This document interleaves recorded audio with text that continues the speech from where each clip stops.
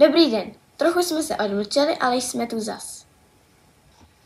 A začneme reportáží z jedné prima akce od školního parlamentu. 22. března jeden vody a školní parlament si pro děti připravil různá zajímavá stanoviště a další aktivity. Pojďte se s námi na některá podívat. Děti házejí ty mince do vody a vlastně pozorují, jestli ta voda přeteče nebo ne a ona nepřeteče, protože tam vytvoří taková malinká bublina, to je držený povrchovým napětí vody. Kde na naše stanoviště se snaží rozlít do čtyřech nádob, aby byl v těch čtyřech nádobách byl stejný objem. Vezmeme si škrabošky a přeléváme vodu z jednoho kelímku do druhého. Vítězem se stává ten, komu tam v kelímku zůstane nejvíce vody. Člověk poskládá vodičku a pak se s někým dá závod. A potom, když se dokončí závod, tak se udělá, co plave na vodě a vždycky řekne, jestli to plave na vodě nebo ne. A já ukážu nějaký předmět.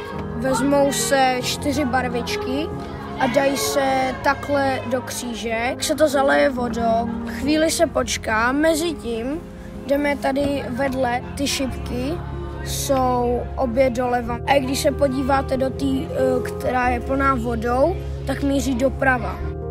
No a už to máme hotový a dělá to takový barevný kruh. No a jestli chcete, tak si to můžete sníst. Na stanovišti první pomoci se prakticky děti učí, eh, jak člověku pomoct, který má třeba řeznou ránu, je prostě nějak eh, nemocný, případně má nějaké postižení způsobené na místě. Že já mám tady tři skleničky a dvě čínské hůlky. Na ty skleničky se hraje a potom se ta voda přelejvá a chceme, aby si ty malí vlastně uvědomili, že jak přelejeme tu vodu do jiné skleničky, tak zase ta sklenička má jiný tón. Že tohle je mokřadový filtr, kam nalejeme špinavou vodu a ona bude čistá, ale neproleje se to hned. Když splní tři stanovišky, tak si tam můžou jít sestřelit ty kelímky, mají tři pokusy a kdo jí schodí nejvíc, tak je vzadu na tabulce. Tak je tam nějaká Emma se šesti bodama nejvíc.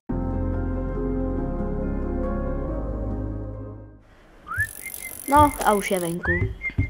Dáme to do auta. Hele, mám síťku, dešník i klobouky.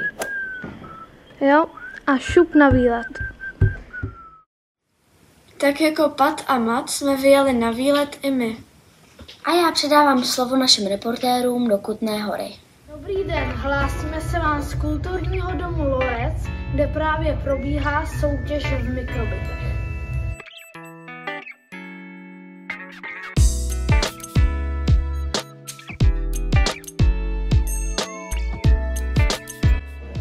Tady týmy z Kolína, z Kutné hory, Čáslavy z Malešova a ze Zbraslavic.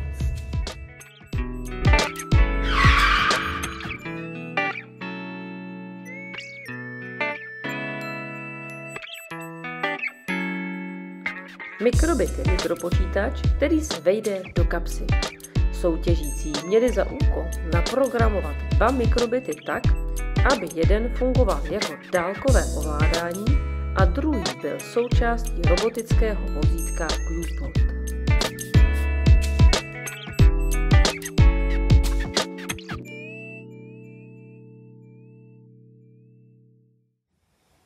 Cestovali jsme na filmové soutěže. Právě se nacházíme ve dvoře Králové nad Labem, kde právě probíhá junior film. Na festivalu jsme se dozvěděli něco o historii filmu, vyzkoušeli jsme si dubbing, vyslechli jsme si porotu v rámci rozborového semináře soutěžních filmů, no a pak už začalo předávání cen. Ceny jsme získali za film o Karlovi v Tramtárii, za reportáž volby prezidenta a za pět ježbab. Ale to není všechno. Potkali jsme i naše oblíbence, autory filmu Inspektor Koníček zasahuje. Víte o tom, že máte na páté základní škole velkou popularitu? Tak vzhledem k tomu, že se nevidíme poprvé a už jsme se viděli na pár festivalech, tak jsem si říkal, že jako je hezký, že, že, že nás tak máte rádi a právě proto jsem říkal inspektorovi dneska, hele, pojď tam se mnou, mohli by, být, mohli by tam být ty lidi z Kolína Já a ty když- tě mají rádi. Já takže... když jsem se to dozvěděl, tak jsem byl nadšený úplně. No, takže jo. A samozřejmě nás to velice těší. Těší nás to a jsme rádi, že máme takovýhle fanoušky. Chtěli byste něco vzkázat filmařům z páté základní školy v Kolíně? Tak eh, za mě bych jim chtěl zkázat, ať určitě pokračují v tom, co dělají, protože je to super. Myslím si, že je to mnohem lepší, než kdyby ten svůj čas promarnili někde nějakým poflakováním, ale je super, že dělají takhle, takhle skvělé filmy, takže pokračujte v tom a má to smysl, myslím.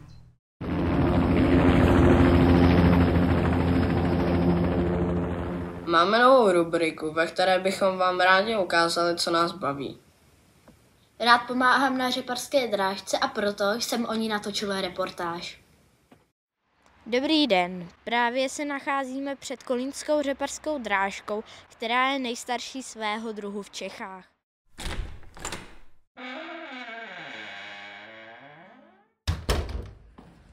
Dobrý den. Dobrý den. Já bych poprosila jednu rodinnou jízdenku. A kolik je dětem? 6 a 9. Tak jo. A bude to 550. Tak, tady máte takhle 500. A tady budete mít 50. Děkuju. Zase Vítáme vás na kolínské řepařské drážce. Nastupujte prosím na první kolej do dýzlového vlaku směr stanice Bíchory a zpět. Vlak je připraven k odjezdu. Konec hlášení.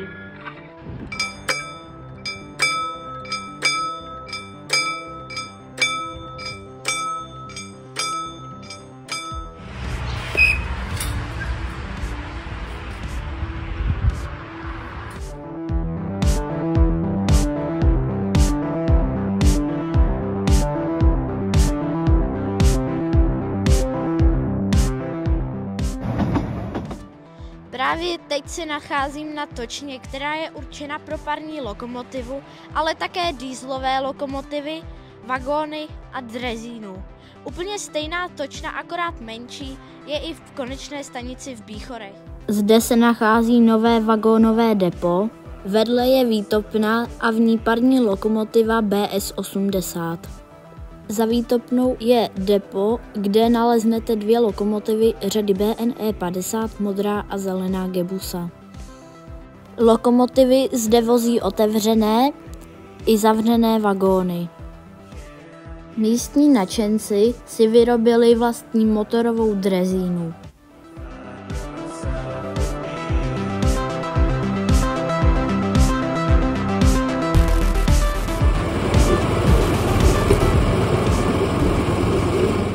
Toto je zelený cisternový vůz, který slouží pro přepravu vody, když třeba někde u tratě hoří anebo parní lokomotivě dojde voda. Právě se nacházíme v hlavní budově, ve které je i malá expozice.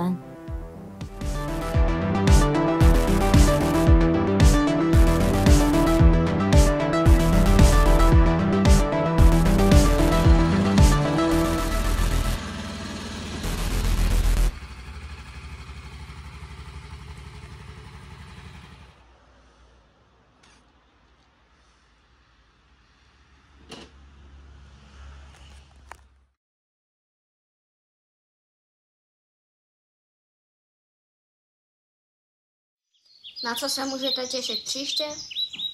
Bude se toho dít u nás ve škole opravdu hodně. Například uvidíte mou reportáž o taekwondu. Těšte se tedy na poslední zprávy v tomto školním roce. Zatím nashledanou.